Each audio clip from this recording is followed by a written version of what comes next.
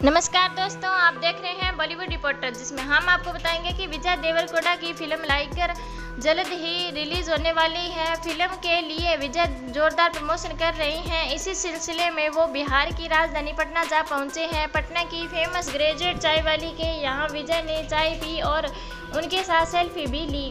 विजय देवरकोड़ा और अनन्या पांडे की film liger 25 अगस्त को रिलीज़ होने के लिए तैयार है। फ़िल्म का प्रमोशन शुरू हो चुका है।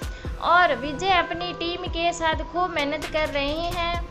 लाइगर के प्रमोशन में जुटे विजय अपनी बिहार की राजधानी पटना जा पहुँचे हैं, जहाँ वो फ़िल्म प्रमोट करेंगे। पटना में विजय ने कुछ ऐसा किया है कि अब सोशल मीडिया पर उनके खूब चर्चे हो रहे हैं। धन्यवाद दोस्तों, अगर आप हमारे चैनल पर पहली बार आए हैं तो सब्सक्राइब करें और बेल आइकन दबाएँ, जिससे कोई भी नई अपडेट आप तक पहुँच सके।